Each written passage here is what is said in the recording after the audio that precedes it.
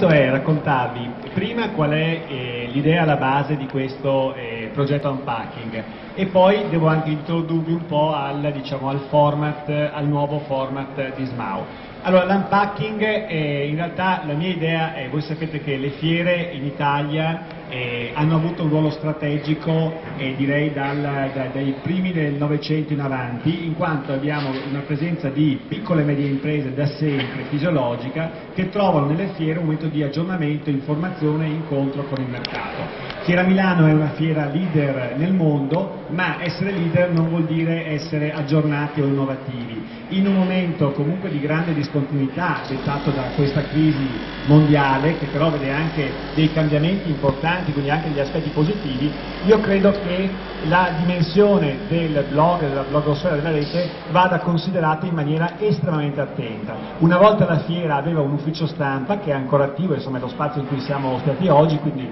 voi eh, sarete nostri ospiti anche domani con grandissimo piacere, ma io credo che come sempre comunità emergenti poi vadano trattate in maniera eh, adeguata. Allora di questo appuntamento di oggi in realtà di Web 2.0 c'è molto poco. La mia idea era eh, dedicare proprio un canale privilegiato addirittura un giorno prima, quindi vedere la cucina, raccontarvi un po' il dietro le quinte, ecco, quindi vedete stand in allestimento, operatori, è una cosa un po' nuova, però è il mio fortissimo desiderio eh, costruire con voi nei prossimi anni ecco, una dimensione eh, adatta al vostro mondo. Per farlo abbiamo ideato questo unpacking, che quindi vi dicevo non è ancora così evoluto o sofisticato, è un'apertura a una comunità che a mio avviso deve avere un momento privilegiato di accesso alla mostra e quindi io mi sono messo e sono a vostra disposizione anche dopo per domande o incontri, ma ho chiesto ai vari attori che partecipano a SMAU di a loro volta aprirsi a voi